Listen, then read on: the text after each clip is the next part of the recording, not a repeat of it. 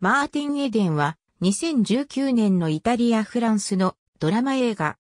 監督はピエトロ・マルチェッロ。出演はルカ・マリネッリ、ジェシカ・クレッシー、カルロ・チェッキなど。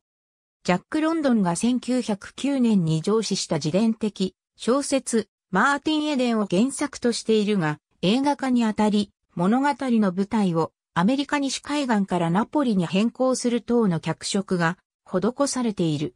第76回ベネツィア国際映画祭にて、コンペティション部門に出品され、ルカ・マリネッリがベネツィア国際映画祭男優賞を獲得した。イタリアナポリの港湾地区で生まれ育った貧しい船乗りの青年マーティン・エデンは上流階級の女性エレナに出会い、彼女の美しさと知性に惹かれるとともに文学への関心に目覚める。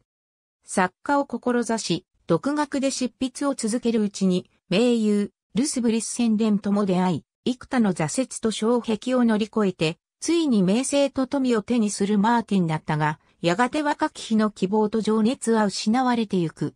撮影は2018年5月より、ナポリ、サンタマリーア・ラホッサ、トンレ・アンヌンツィアータで行われた。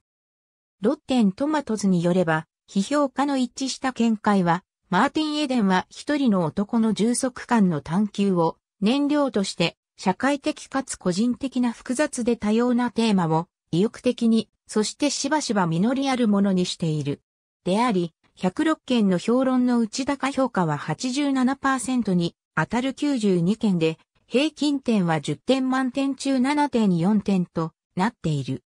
メトクリティックによれば、22件の評論のうち、高評価は15件、賛否混在は6件、低評価は1件で、平均点は100点満点中75点となっている。ありがとうございます。